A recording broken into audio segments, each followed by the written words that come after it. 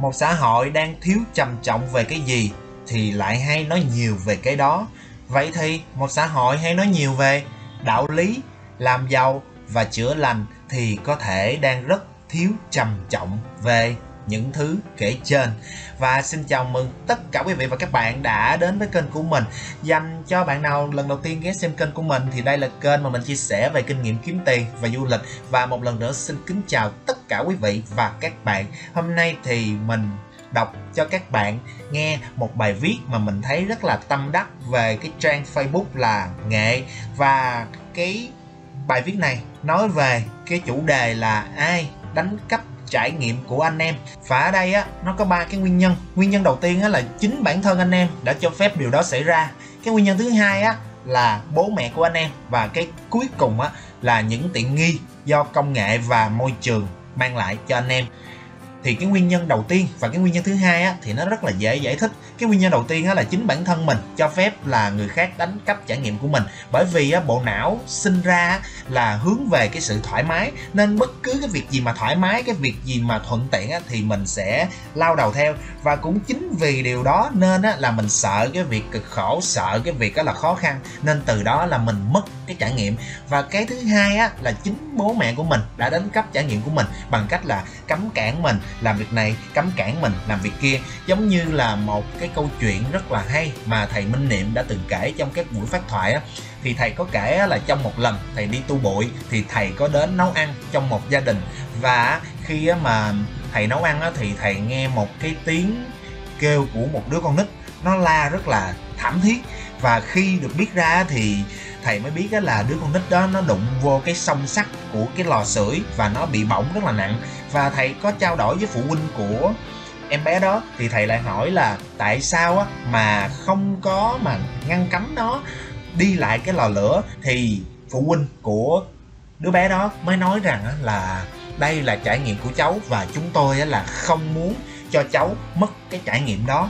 Và cái nguyên nhân thứ hai này được giải thích một cách đơn giản là vì tình thương của cha mẹ phương đông mình á uh, rất là nhiều. Nên là nhiều khi là ngăn cấm mình chuyện này chuyện kia vì sợ mình bị đau đớn vì sợ mình bị khổ. Nên họ đã ngăn cấm và khi mà họ ngăn cấm như vậy á, thì mình đã bị mất trải nghiệm. Và cái cuối cùng là do những tiện nghi về công nghệ và môi trường mang lại. Và từ cái tiện nghi và môi trường mang lại á, thì có một cái bài viết trên nghệ luôn. Và ông có chia sẻ về cái việc là chuyện tôi đi giao đồ ăn và nền công nghiệp chữa lành bài này rất là hay và mình xin là lấy bài này mình đọc lại cho các bạn nghe và các bạn dùng được cái gì thì dùng ha.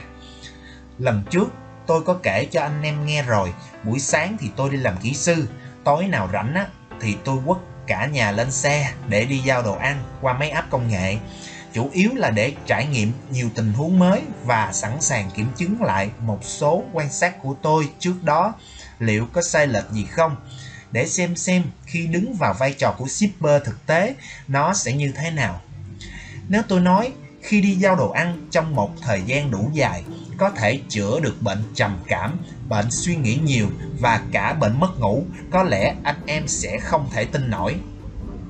Nhưng nếu nó là sự thật thì sẽ là một thách thức rất lớn cho cả nền kinh tế, công nghiệp, chữa lành đang diễn ra rất sôi nổi trong xã hội của chúng ta hiện nay.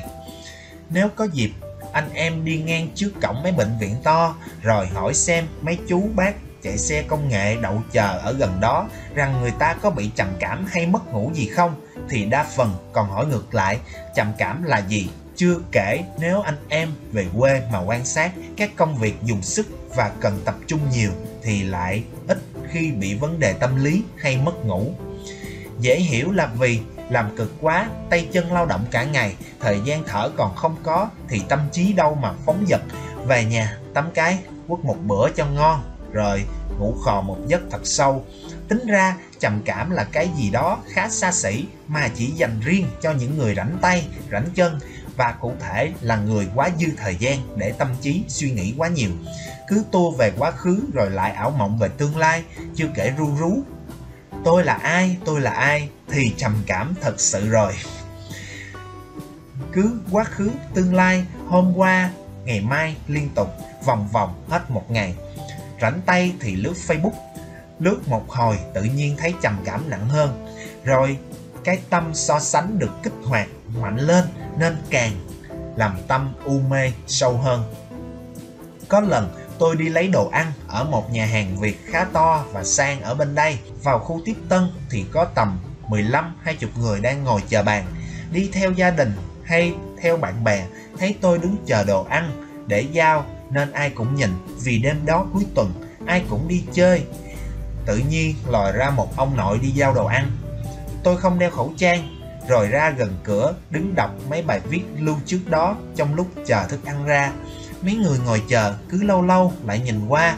Có người thấy tôi trong kiểu tội tội, có người kiểu tò mò. Mặt mũi cũng sáng sủa, sao lại ra nông nổi này? Ha ha. Nếu là tôi ngày xưa, chắc tôi ngại lắm. Vì lỡ gặp bạn bè, người quen thì quê quá. Mà không biết sao, đợt rồi tôi lại thấy rất bình thường. Nên chuyện đi giao đồ ăn mà không che mặt cũng là cách chữa bệnh sĩ diện cực hiệu quả. Không ngại người ta đánh giá gì, không ngại người ta có công nhận mình hay không, thì cơ bản cái chấp danh nó giảm đi rất rõ và đồng thời cái đầu anh em cũng nhẹ đi rất rất nhiều khi tâm trí không đặt trọng tâm ở việc người ta nghĩ gì về mình nữa. Không phải gồng thì đâu, có gì phải trầm cảm. Logic đúng không anh em? Tôi dùng từ nền công nghiệp chữa lành vì tôi thấy các phương tiện chữa lành trên thị trường đang được phức tạp hóa và thương mại hóa Tôi có đứa em làm chung ngày xưa, mãi 5-6 năm không gặp, rồi một hôm thấy bài quảng cáo, nó trở thành life coach lúc nào không biết. Life coach ở đây là huấn luyện viên về cuộc sống đó các bạn. Tôi hay nói vui, đa phần coach có mặt trên thị trường hiện nay, không phải tất cả, nhất là về mảng chữa lành thì các coach đó lại là đối tượng cần được chữa lành đầu tiên. Rất ít coach nắm được cốt lõi có trải nghiệm thực tế, được đào tạo bài bản và cốt lõi nhất là đã tương đối giải quyết được các vấn đề của mình đã. Vì mình chưa xong thì sao chỉ đường hay gợi mở cho người khác được. Thật ra như chuyện đi giao đồ ăn, nếu anh em tập trung và toàn tâm giao được 15, 20 đơn một ngày, giao hàng đàng hoàng, tập trung lái xe an toàn, đi đúng đường, đồ ăn còn nguyên vẹn, giao đúng chỗ thì chỉ cần thế thôi, anh em đã trở về với thực tại hoàn toàn rồi. Nếu cả trong lúc giao, dù tâm trí của anh em có tua lại chuyện gì khác đi nữa, nhưng do đang chạy xe vào những con đường mới, con hẻm nhỏ thì bắt buộc anh em phải tập trung vào hiện tại thôi. Nên không cần tốn tiền đi chữa lành hay đi thiền ở đâu xa, mà hãy xách xe đi giao đồ ăn, giao thật sự nghiêm túc, đàng hoàng, ngày quất cỡ 5-6 tiếng, tầm 15 20 cú. Nếu sau một tháng bệnh tâm lý anh em không giảm, tôi xin dẹp cái vay này luôn. Ra đời mưa nắng, tình huống bất ngờ bị bơm hàng làm hư đồ ăn, nó làm tâm anh em được trải sâu với thực tại. Nhiều lúc một tháng chạy xe giao đồ ăn còn hơn một năm ở nhà đọc sách, mà đa phần đọc sách nhiều, đâm ra là ảo tưởng sức mạnh trong khi sức mạnh thực sự đang tăng dần sau mỗi cuốc xe giao thành công.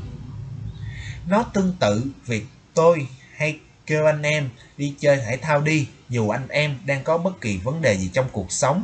Khi thân nó khỏe lên thì tâm trí nó cũng được giải phóng và tái tạo rất nhiều năng lượng mới. Thể thao và đi giao đồ ăn đều có nền tảng giống nhau nhưng giao đồ ăn nó cho anh em nhiều bài học sâu sắc hơn nữa. Đôi lúc anh em suy nghĩ nhiều, mất ngủ, lâu ngày nhức đầu một bên, uống thuốc nhức đầu nhiều thì đau bao tử, uống thuốc đau bao tử thì lại bị táo bón, uống thuốc táo bón thì da bị khô. Cái này tôi ví dụ nhanh, đừng bắt chuyên môn bệnh lý, nó thành hiệu ứng domino. Thay vì chỉ cần ngủ sớm là xong, không cần uống đến 4 năm loại thuốc. Anh em phải nhận ra được đâu là vấn đề gốc, đâu là vấn đề cành, chứ gốc nó cứ thúi mà đi cắt cành hư thì cắt đến Tết. Chữa gốc đúng thì cành lá nó tự tươi theo. Nếu anh em nào đã thiền, nghe pháp thoại đủ kiểu rồi, đọc đủ thể loại chữa lành mà vẫn lẫn quẩn thì hãy đi giao đồ ăn đi. Làm đúng một tháng, không bớt bệnh tôi cam kết không viết lách nữa. Giao đồ ăn vừa có tiền vừa biết thêm chỗ ăn mới lại thêm nhiều bài học hay và hết trầm cảm. Nếu đi giao đồ ăn mà anh em không ngại thì còn job gì trong game đời này mà anh em ngại nữa. Hãy làm cái cơ bản nhất một cách đàng hoàng thì nó cho anh em cái đà để tiếp tục đàng hoàng và toàn tâm trong nhiều thứ khác. Lái xe đi, làm đi, rồi anh em sẽ biết mình là ai. Thay vì cứ cố ngồi nghĩ mình là ai, cheers, bác 7B hình của 49 RPM hình đẹp các bạn. Ở đây ờ, mình thấy cái page này ờ, ghi những cái bài học trong cuộc sống rất là hay rất là thực tế. Và mình nghĩ rằng á, cái bài mà chuyện đi giao đồ ăn á, thì nó rất là đơn giản và nó rất là dễ làm và ai cũng làm được. Và ngoài ra thì nó còn giúp mình tăng thu nhập nữa, ha, giữa thời buổi kinh tế khó khăn như thế này. Vừa có một cái để tiết giảm chi phí, đó chính là về cái việc, gọi là, không cần tốn chi phí cho ngành công nghiệp chữa lành và vẫn tăng được thu nhập. Đó chính là việc mà bạn đi giao đồ ăn và bạn sẽ tăng cái lượng tiền trong túi bạn lên. Thì mình thấy rất là hay và mình hy vọng là qua cái bài viết vừa rồi thì các bạn sẽ có được những bài học trong cuộc sống của các bạn ha. Cảm ơn tất cả các bạn. Nếu mà thấy hay thì à, hãy nhớ like video cho mình. Còn nếu mà có câu hỏi thắc mắc nào á thì mong rằng bạn hãy comment ở bên dưới ha. Xin chào tạm biệt tất cả các bạn. Hẹn gặp lại tất cả các bạn vào lần sau.